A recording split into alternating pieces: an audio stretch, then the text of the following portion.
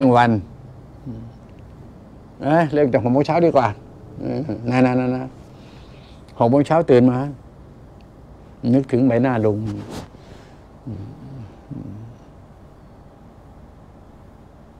จะทำแล้วก็ทำไป ฟังดีนะหกโมงเช้าเก้าโมงเช้า เที่ยงวัน บ่ายสามหกโมงเย็นสามทุ่ม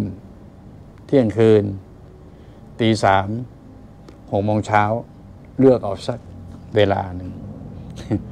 นั่นแหละ นึกถึงลุงดูสิเผื่อลุงมาสกิดชี้ข้างให้ประมาณนั้นครับนึกทำอะไรล่ะเราจะทำอะไรล่ะครับนึกเอาเอง หาวิธีเอาเองก็แล้วกันอลองเล่น ๆ ดูสิเผื่อว่าลุงมาสกิดชี้ข้างเบา ๆ ให้ อืมนั่นๆนะ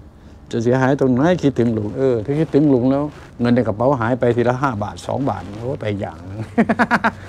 ใช่ไหมใช่ไหมฮะไม่ได้สูญเสียอะไรเลยโอ้ยใช่ไหมเออเสียอะไรอะผมว่าไม่ได้เสียอะไรนะใช่ไหมรู้ไหมลุงกำลังพูดถึงเรื่องอะไรอะเห็นไหมรู้ไหมลุงพูดถึงเรื่องอะไร นั่นแหละอ้าว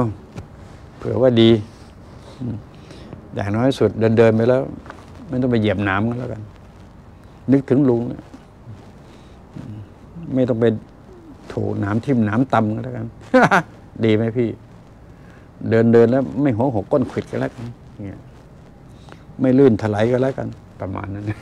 ดีไหม นะเผื่อมันใช้ประโยชน์ได้ เวลาจะปวดท้องมากๆ จะวิ่งเข้าห้องน้ำไม่ทันลุงลุงลุงช่วยปิดไว้ก่อน ปิดไว้ก่อนปิดไว้ก่อนลุงลุง